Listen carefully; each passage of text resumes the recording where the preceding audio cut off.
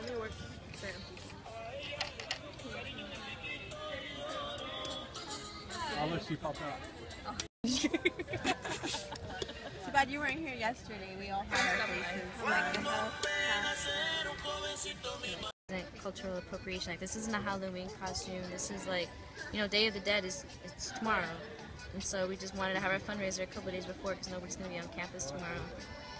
But um, yeah, I think it's interesting to like raise awareness about such an important aspect of Latino culture.